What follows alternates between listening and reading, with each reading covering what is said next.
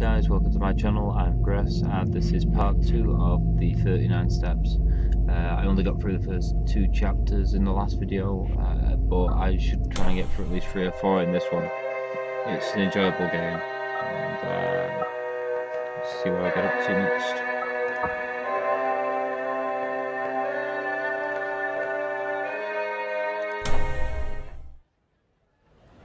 An unlikely visit. Monday, 18th of May 1914, Wimpole Street, London.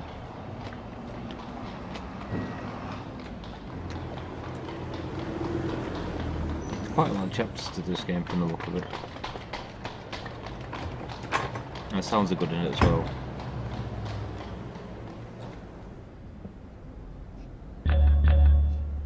Anything else I need to do? No. Can I speak to you? May I come in for a minute? I recognised him as the occupant, of a flat on the top floor, with whom I had passed the time of day on the stairs.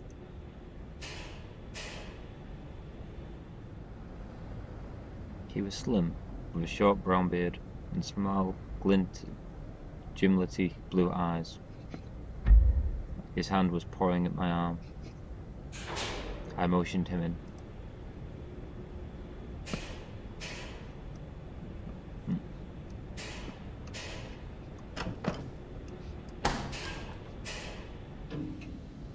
Do like the gestures that's on it. It's a good idea.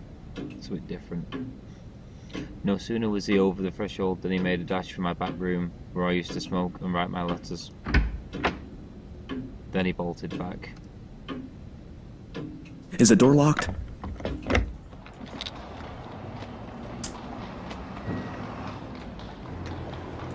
It must be locked now.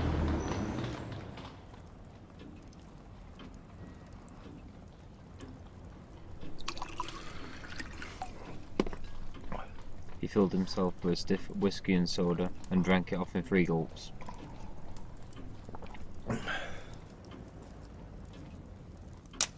I sat down in an armchair and lit my pipe. I was pretty certain that I had to deal with a madman. I'm very sorry. It's a mighty liberty, but you look like the kind of man who would understand. I've had you in my mind all this week when things got troublesome. Say, will you do me a good turn? I'll listen to you. That's all I'll promise. Pardon. I'm a bit rattled tonight. You see, I happen at this moment to be dead. What does it feel like? A smile flickered over his drawn face. I'm not mad. Yet. Say, sir, I've been watching you, and I reckon you're a cool customer. I reckon, too, you're an honest man and not afraid of playing a bold hand. I'm gonna confide in you. I need help worse than any man ever needed it. I want to know if I can count you in.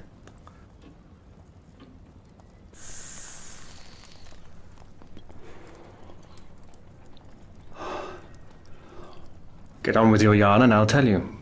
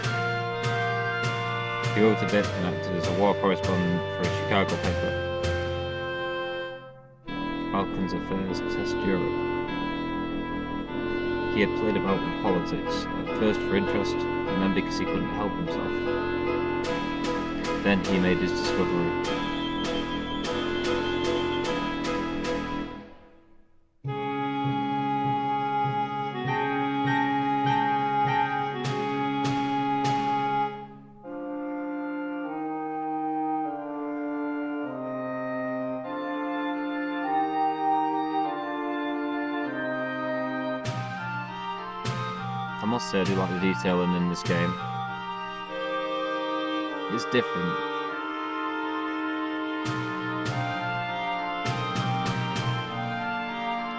Away behind all the governments and armies, there was a big subterranean movement going on, engineered by some very dangerous people.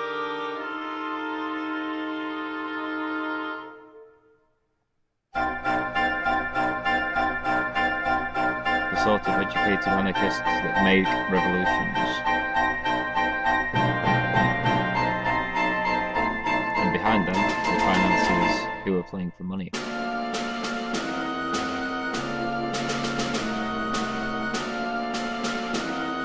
They wanted Russia and Germany at loggerheads. Basically inciting war. Everything would be in the melting pot. The anarchists looked to see a new world emerge, while the capitalists would make fortunes by buying up wreckage. And Scudder had himself convinced that Jewish men were behind it all.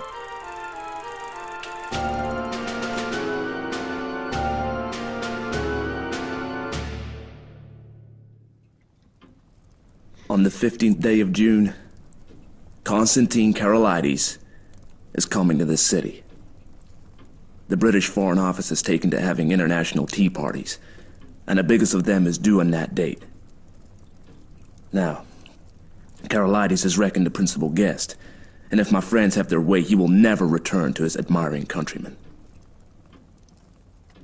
I set up for that, for I had been reading about Karolides that very afternoon. Well, that's simple enough, anyhow. You can warn him and keep him at home. and play their game. If he does not come, they win, for he's the only man that can straighten out the tangle. And if his government are warned, he won't come, for he does not know how big the stakes will be on June the 15th. I was beginning to get interested in the beggar. What about the British government? They're not going to let their guests be murdered. Tip them the wink, and they'll take extra precautions. No good.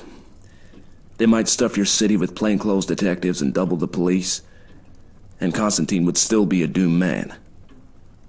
He'll be murdered by an Austrian, and there'll be plenty of evidence to show the connivance of the big folk in Vienna and Berlin. It will all be an infernal lie, of course, but the case will look black enough to the world.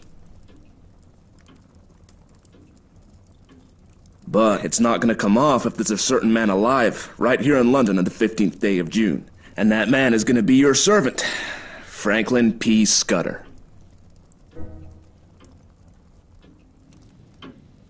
Okay. I was getting to like the little chap. His jaw had shut like a rat trap. There was a fire of battle in his gimlet eyes.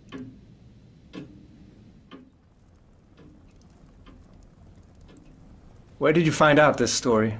I completed my evidence ten days ago in Paris. I can't tell you the details now, for it's something of a history. But when I was quite sure in my own mind, I judged it my business to disappear. And I reached this city by a mighty queer circuit. Till yesterday, I thought I had muddied my trail some, and was feeling pretty happy. Then, The recollection seemed to upset him, and he gulped down some more whiskey. then I saw a man standing in the street outside this block. I used to stay close in my room all day, and only slip out after dark for an hour or two. I watched him for a bit from my window. I thought I recognized him. He came in and spoke to the porter. When I came back from my walk last night, I found a card in my letterbox. It bore the name of the man I want least to meet on God's earth. I think that the look in my companion's eyes, the sheer naked scare on his face, completed my conviction of his honesty. What did you do next? I realized I was bottled as sure as a pickled herring, and that there was only one way out. I had to die.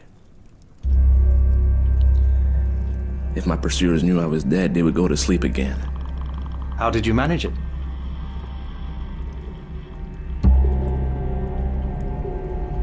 How Scudder died. Let's go through the steps. Step 1.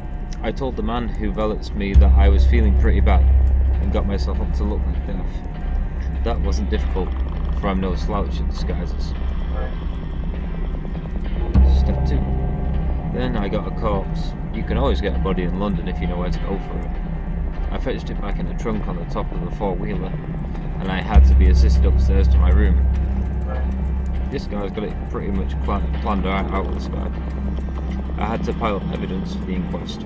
So I went to bed and got my man to mix me a sleeping draught, and then I told him to clear out. He wanted to fetch me a doctor, but I swore some and said I couldn't abide leeches. Suckers for leeches.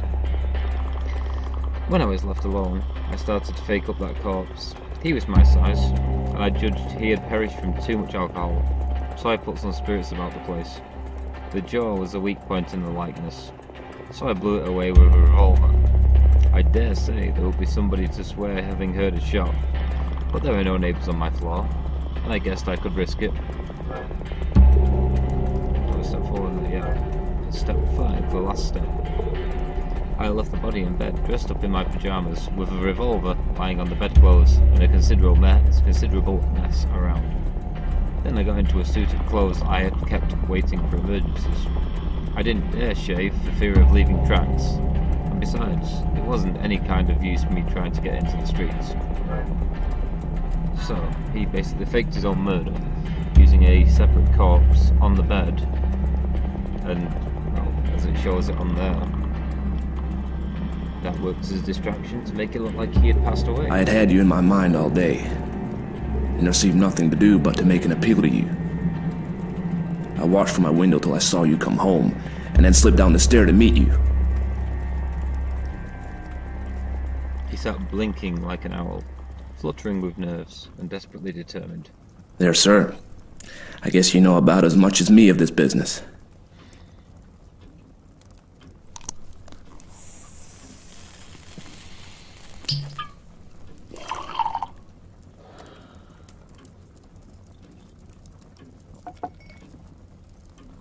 I was now pretty well convinced that he was going straight with me. It was the wildest sort of narrative, but I had heard in my time many steep tales which had turned out to be true. And if he had wanted to get any get a location in my flat and then cut my throat, he would have pitched a, a mile the yarn. Hand me your key, and I'll take a look at the corpse. Excuse my caution, but I'm bound to verify a bit if I can. I reckoned you'd ask for that. But I haven't got it. It's on my chain on the dressing table. I had to leave it behind, for I couldn't leave any clues to breed suspicions. The gentry who are after me are pretty bright-eyed citizens. You'll have to take me on trust for the night, and tomorrow you'll get the proof of the corpse business right enough. I thought for an instant or two. Right. I'll trust you for the night. I'll lock you into this room and keep the key. Just one word, Mr. Scudder. I believe you're straight. But if so be you are not, I should warn you that I'm a handy man with a gun. I haven't the privilege of your name, sir, but let me tell you that you're a true gentleman. Now, I'll thank you to lend me a razor,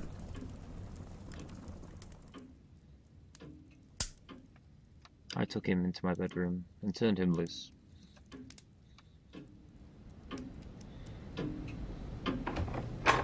In half an hour's time, a figure came out that I scarcely recognized.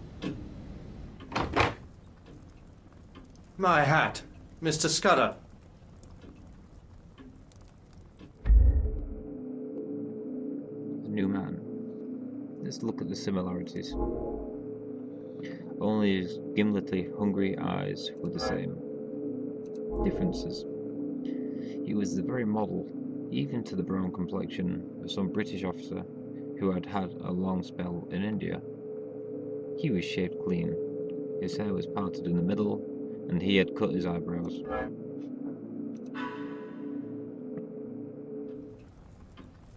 Not Mr. Scudder. Captain Theophilus Digby of the 40th Gurkhas presently home on leave. I'll thank you to remember that, sir. He's gone from an American accent to an English accent.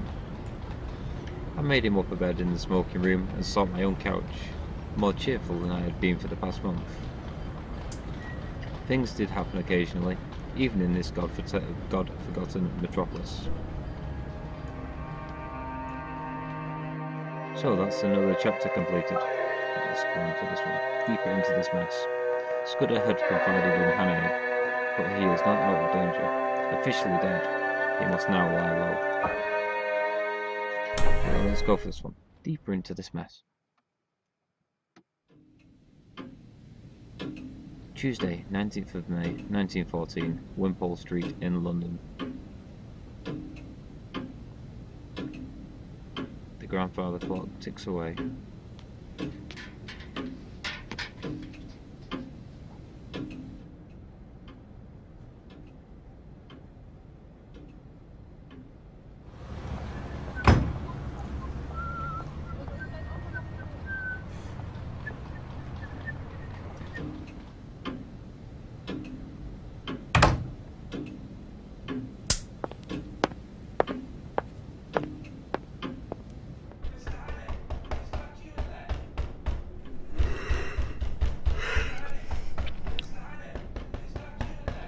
That row, Paddock. There's a friend of mine, Captain.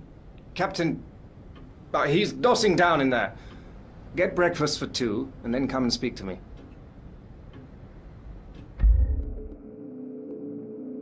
Paddock. That is his butler, I believe, or his servant. He had about as much gift of the gab as a hippopotamus, and was not a great hand at balloting, but I knew I could count on his loyalty. See acquaintance. Paddock was a fellow I had done a good turn to out on to out on the Selakwe, and I had inspanned him as my servant as soon as I got to England.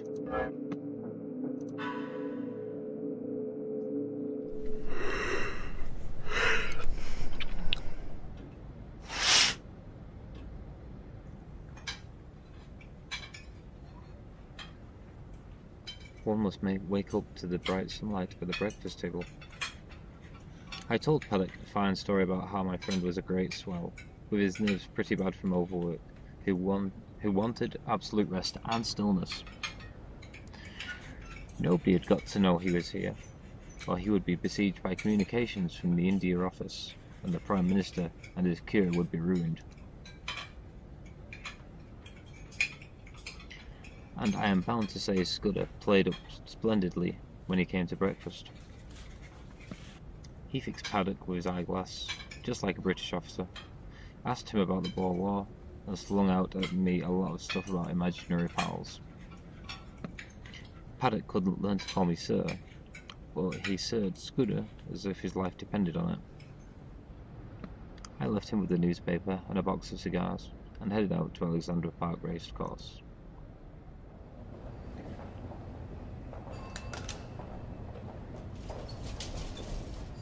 When I got back to the lift, man, when I got back, the lift man had an impo important face. My reading and speaking's not working well tonight. Nasty business here this morning, sir. Gent in number 15 been and shot himself. They've just took him to the mortuary. The police are up there now. Hmm. Let's go upstairs and have a look.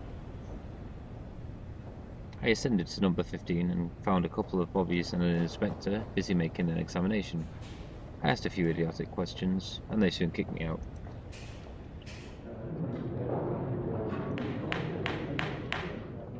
I attended the inquest the next day. The jury found it was a case of suicide while of unsound mind.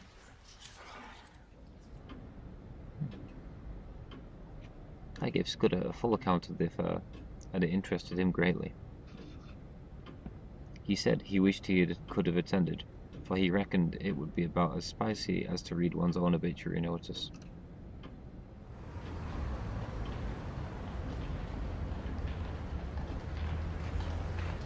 Scudder was a very peaceful the first two days he stayed with me.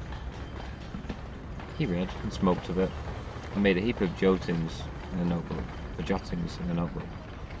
And every night we had a game of chess, at which he beat me hollow, but on the third day, I could see he was beginning to get restless.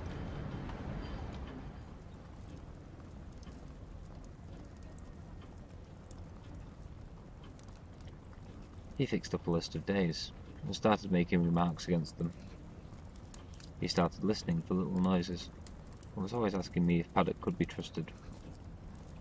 Once or twice he got very peevish and apologised for it. I didn't blame him. I made every allowance, for he had taken on a fairly stiff job. Uh, typical England. And then one night he was very solemn.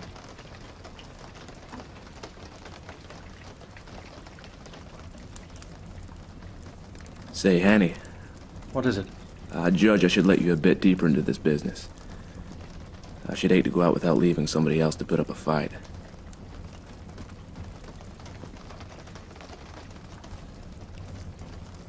Began to tell me in detail what I had only heard from him vaguely. I did not give him very close attention. The fact is, I was more interested in his own adventures than in its high politics. The plot thickens. So, Karolides. I reckon that Karolides and his affairs were not my business. So a lot that Scudder said slipped clean out of my memory. He was very clear that the danger to Karolides would not begin till he had got to London, and would come from the very highest quarters, where there would be no thought of suspicion. Julia Czechenyi, I guess that is. He mentioned the name of a woman, Julia Czechenyi, uh, as having something to do with the danger. She would be the decoy, I gathered, to get Karolides out of the care of his guards. Hmm. And Blackstone. He talked about Blackstone and a man that lisped in his speech. He described very particularly somebody that he had never referred to without a shudder. An old man who could hook his eyes like a hawk. I'm guessing that is a guy who's involved with the whole corruption.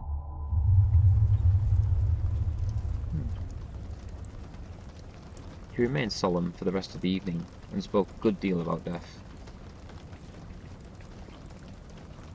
I reckon it's like going to sleep when you're pretty well tired out. Awaking to find a summer day with the scent of hay coming in at the window. I used to thank God for such mornings way back in the bluegrass country. And I guess I'll thank him when I wake up on the other side of Jordan.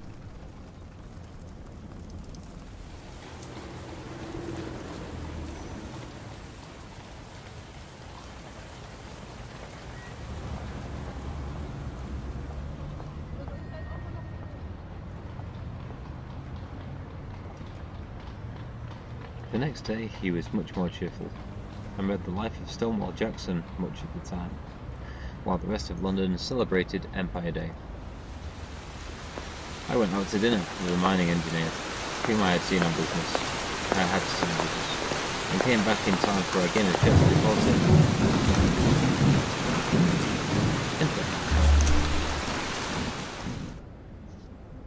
Open.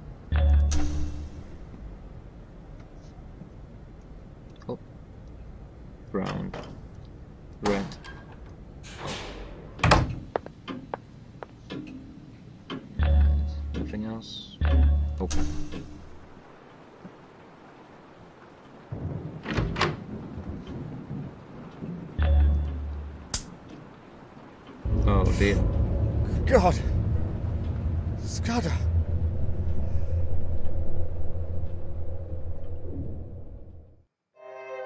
And that was him dead. What an unfortunate end. In the suit, the murder of the American spy suggests he wasn't talking hot to her, but everything points to Hannay as the killer. So we must have to find a way around it. In the suit. Saturday, 23rd of May, 1914, Wimpole Street in London. The dead body was lying on the floor. Only Hannay had glimpsed his eyes on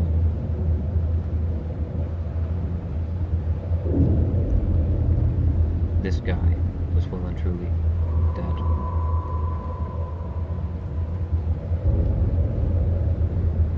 The knife was the only right thing about him. The poor staring white face was more than I could bear.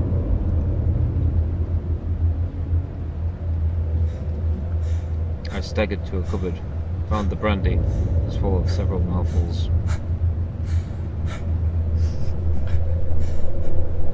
I had seen men die violently before. Indeed, I had killed a few myself in the Matabele wells. But this cold-blooded indoor business was different. I needed to think. Ruthlessly. So, his enemies had found him, and had taken the best way to make certain of his silence. Scudder had been in my rooms for four days, and his enemies must have reckoned that he had confided in me. I would be next to go. It might be that very night, or the next day, or the day after, but my number was up alright. So that's a list of the days that have been crossed off in May up to the 24th. No chance. Supposing I went out and now and called in the police, or went to bed and let Paddock find the body and call him in the morning, what kind of a story was I to tell about the Scudder? The odds were a thousand to one that I would be charged with the murder, and the circumstantial evidence was strong enough to hang me. Pointless endeavour. Few people knew me in England. I had no real pal who could come forward and swear to my character. Perhaps that was what those secret enemies were playing for. They were clever enough for anything, and an English prison was as good a way of getting rid of me till after June the 15th as a knife in my chest. If I told the whole story, and by any miracle was believed, I'd be playing their game. Karolides would stay at home, which was what they wanted. Hannay's resolve. I'm an ordinary sort of fellow, not braver than other people, but I hate to see a good man downed, and that long knife would not be the end of Scudder if I could play the game in his place. So, does that mean he's going to take over the place of Scudder?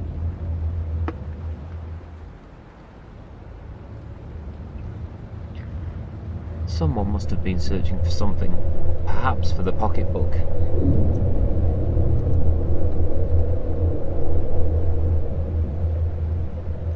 So let's search his body.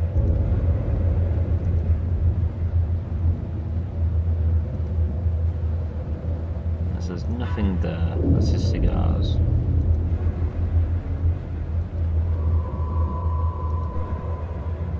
The knife had pinned Scudder to the floor. So... Let's have a the paper. Dear Peter, was it Samuel Johnson who wrote, When you are tired of London, you are tired of life? Well, my dear Peter, if so, then I am tired of life.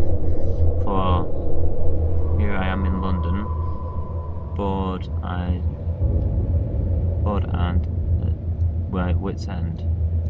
This is hard to read. The city is noisy and dusty, and I can't read that bit. I'm yet to meet a suitable lady to pass my time with, though I have not a fair few unsuitable ones. My bets are paying off on the tracks, however, that my shares in the Rhodesian diamond mines continue to keep me dining in the capital's best restaurants. Despite Paddock's continued insistence that I should dine at home and try his culinary skills, one can only hope that they are better than his valet skills. Speak soon, dear friend. Ah, honey.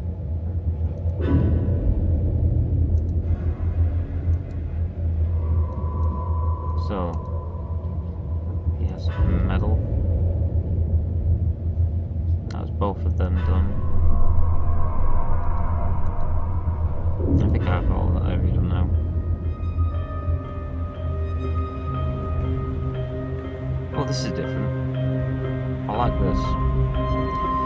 No trace of Scudder's black book. Most likely the enemy had found it, but they had not found it on Scudder's body. I had come to a decision. I must vanish somehow, and keep vanished until the end of the second week in June.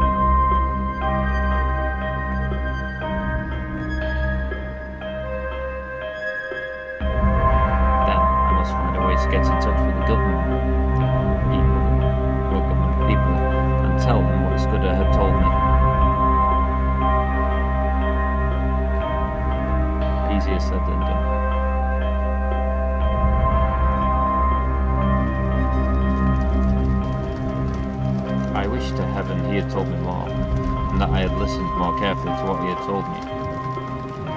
There was a big risk that, even if I weathered the dangers, I would not be believed in the end. I must take my chance of that, and hope that something may happen which would confirm my tale in the eyes of the government.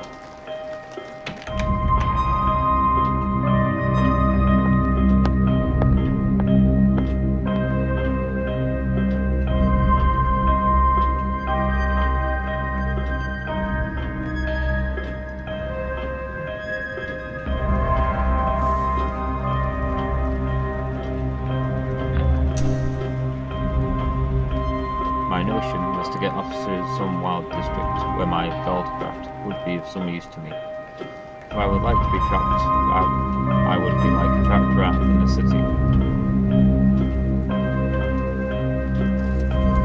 I considered that Scotland would be best. My people were Scotch. I could pass anywhere as an ordinary Scotsman.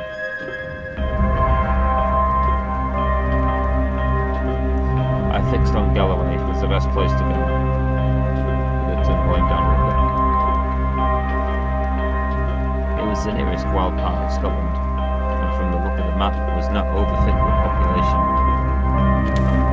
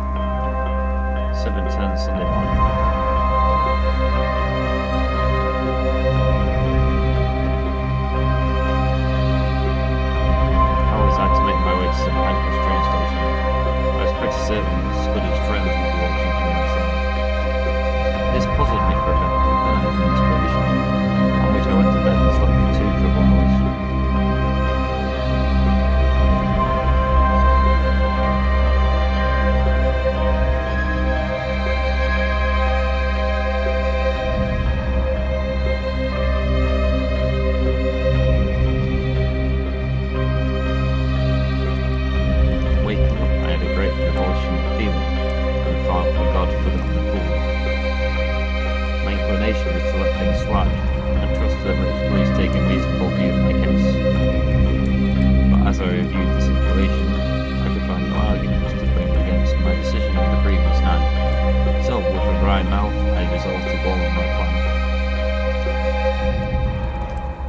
I hunted out a well-used tweed suit, a pair of strong-nailed boots, and a flannel shirt with a collar. Into my pockets I stuffed a spare shirt, a cloth cap, some handkerchiefs, and a toothbrush. I took fifty pounds of it in sovereigns in a belt, which I had brought back from Rhodesia.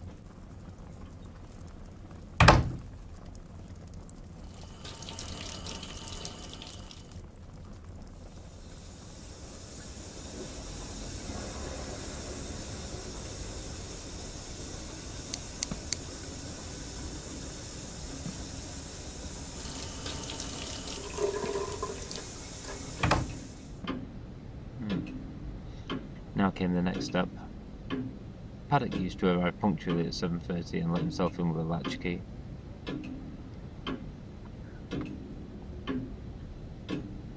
But about 20 minutes to 7, as I knew from bitter experience, milkman turned up with a great clatter of cans and deposited my share outside my door. On him, I staked all my chances. I staked all my chances.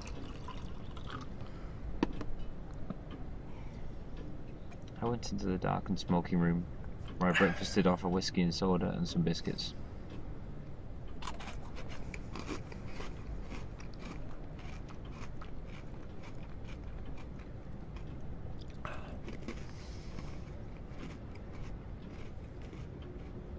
By this time I was getting on for six o'clock.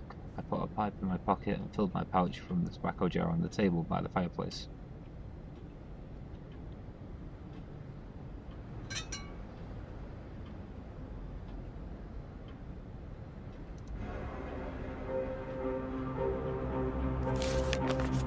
Information collected Jan to May 1914. It seemed a good moment, good omen. Uh, so, Goodbye, old chap. I'm going to do my best for you. Wish me well, wherever you are. I hung about in the hall waiting for the milkman. I was fairly choking to get out of the doors.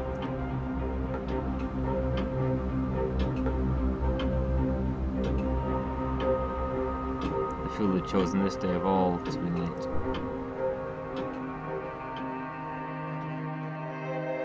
So, I'm going to leave it at this for the moment. I'm probably going to do some longer videos of this one to go through it. And it's probably going to take quite a few episodes to go through this, but I really enjoyed it. Uh, storytelling side of it works really well. The design of the game is really impressive. The um, gestures, using the mouse to actually open stuff and control stuff works really well.